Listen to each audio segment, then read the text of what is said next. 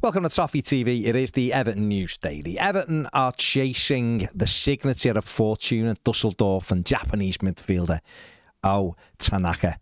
Uh, Genoa and Parma are also interested in the player as well as a number of German clubs, that is according to an Italian news outlet today. Uh, he scored eight goals and had three assists last season for Dusseldorf. Uh, they missed out in the playoff final. He's 25 years of age. He's won 26 caps for Japan and has scored eight goals. So the links are going to continue to these players. Uh, obviously, Everton are awaiting a well new takeover news now, aren't we? Really, the triple seven deadline finished over the weekend, uh, but Kevin Thelwell and Sean Dyche, I'm sure, are still pressing ahead with what they can do.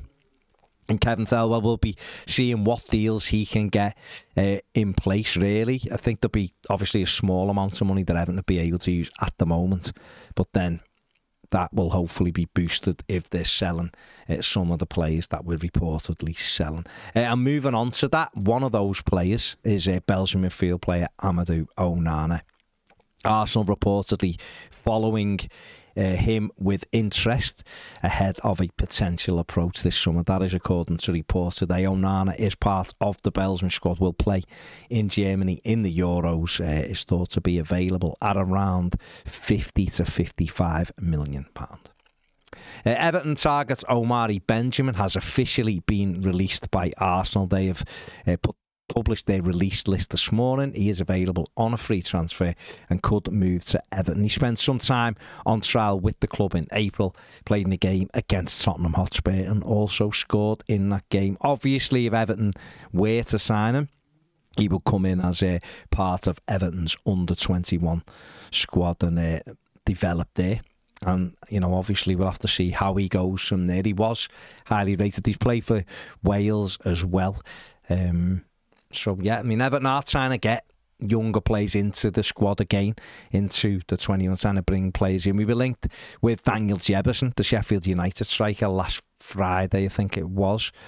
Uh, he's another one who Everton have followed for a few years, but he's thought to be available as well, and Everton have got an interest in him. So we'll see. Did, of course, score the winner against Everton. I think it was on his full debut uh, when Sheffield United beat Everton three seasons ago, I think it was now.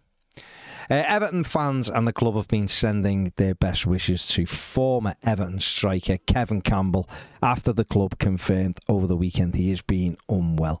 Uh, here at Toffee TV, we've had the pleasure of spending time with Kevin on quite a few occasions, uh, and we're all sending our best wishes to him and his family and wishing him a speedy recovery.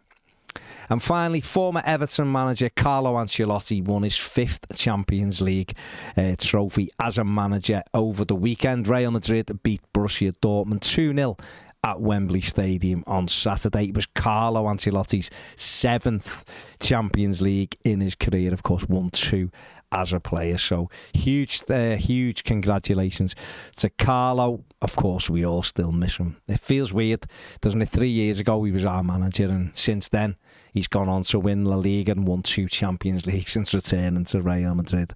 Um, but yeah, very, uh, very good achievement, isn't it? Unbelievable achievement for one of the best managers ever. Is he? Is he the greatest manager ever? He's won a lot of Champions League, that's for sure. So congratulations to Carlo and of course to David, uh, his son as well, who was also a key part of Everton's backroom staff when they were here. That is it for the news daily. Make sure you give the video a thumbs up, subscribe to the channel if you haven't, and if you want to become a Toffee TV Premier member where you don't get any adverts on podcasts or videos, the link is in the description. QR code's on the screen now. See you later.